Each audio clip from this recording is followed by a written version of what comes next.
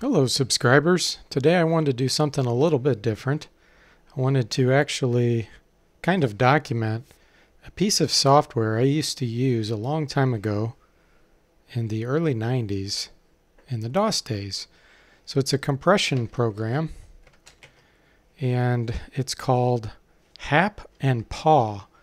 H-A-P and then P-A-H. It was created by someone named Harald Feldmann, and his company was Hamarsoft. And I know he was in another country. I'm in the United States. I can't remember if he was from Denmark or where he was from. But I actually paid for this software because I enjoyed it so much. It had really good compression rates for the time. It would beat PKZip most of the time and even ARJ, which was a pretty darn good compression program. So anyway, I was going to show it here. And I had created a folder that has a bunch of files in it. And I want to show you what happens when DOSBox tries to use it. Uh, let me show you something else here real quick. You'll notice that it's registered to The Immortal. So that was my bulletin board system alias in the time. I had my own bulletin board system. I was in high school. My parents got me a second phone line and I had it on after school. So that was kind of interesting and fun thing to do when you're a high school student. Okay, so enough of that. Let's go ahead and do some compression here. I'm just going to do all the files in this directory. And I'm going to speed up the process a little bit here so that you can see what happens faster.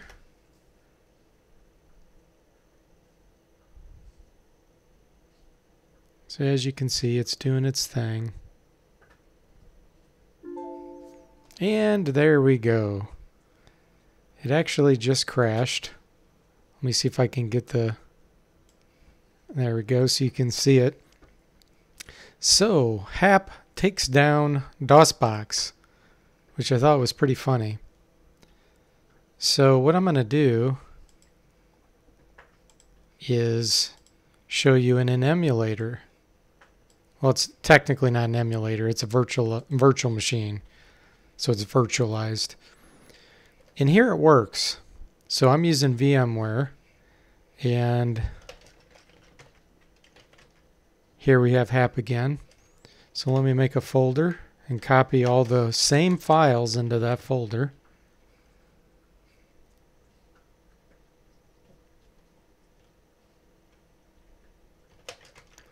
And we'll run it again.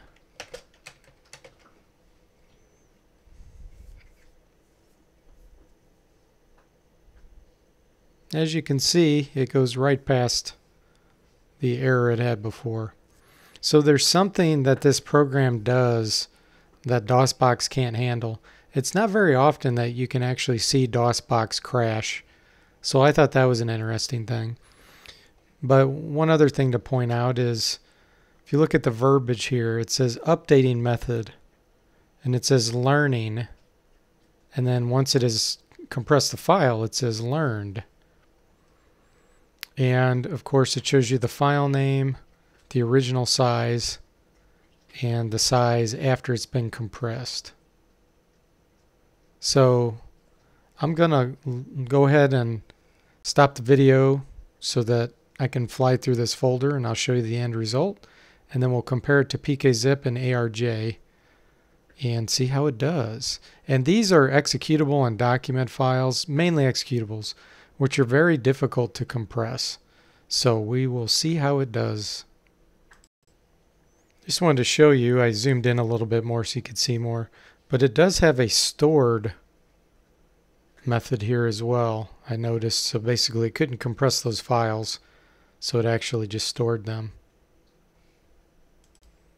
Okay, so let's see how it did. So the original size was, it appears to be 10 megabytes roughly, and it cut it down to 7. And again, these are highly uncompressible files because a lot of them are already compressed.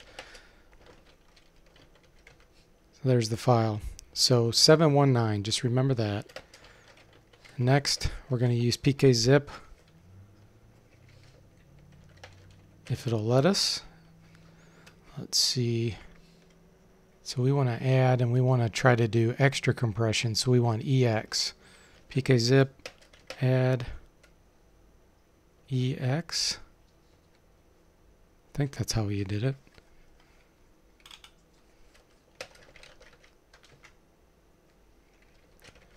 If it's going to work. Oh, it is a slash. Okay.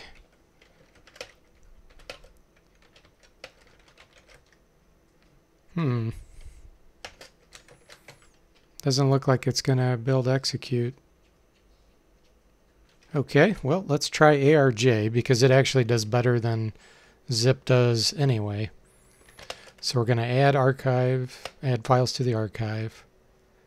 And does this have a compression rate? It has a method that can be used, but I don't see where you set the compression level. So we'll just add all that and we'll do test.arj. And I will be back once it is finished. Okay, so let's see how the ARJ compression utility did. Wow, it did about the same. Well, HAP obviously isn't as good against executables. Let me see if I can dig up something that's more compressible, and that'll be a better comparison. Okay, I found two things to test this against. One is a very large, basically text file. It's got a whole bunch of text in it. So let's do a hap on this.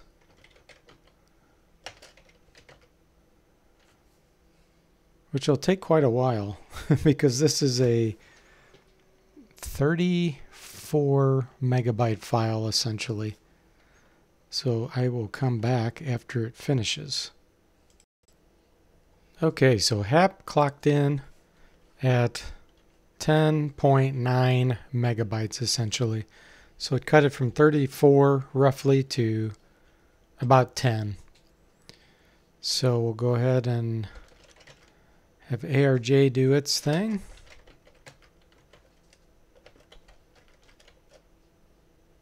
Uh, let me double check the instructions on it again. So it's just an A.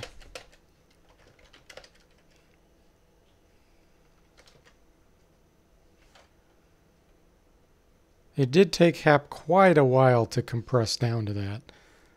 But in the day, when you had a 2400 baud modem, you could actually spend you know 20 minutes compressing something on your local computer that's large and still save a lot of time transmitting a huge file over a 2400 baud modem.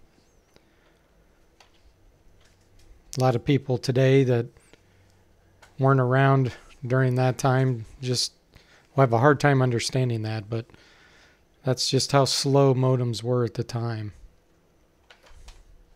So I'll go ahead and come back once this finishes.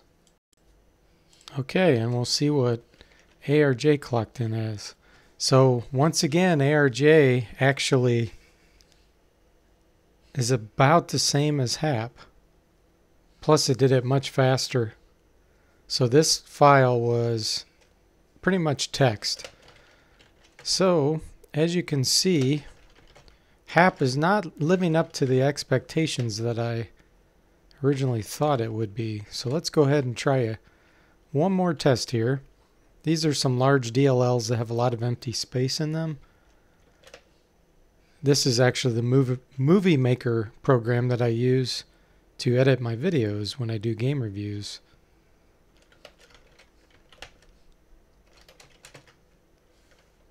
So I'll be back. Okay, so HAP did pretty well here.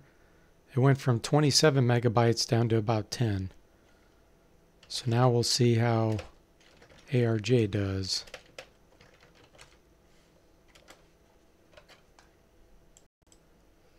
Alright, so ARJ produced a file that once again was 9.6 megabytes in size. So, after these tests, I'm actually kind of surprised that ARJ seems to be about the same, if not a little better than HAP, and it's much faster. Back in the old DOS days, it seems when I used HAP, it was better. That's why I actually paid for it. But you live and you learn. So I hope you enjoyed this, and I'll see you next time.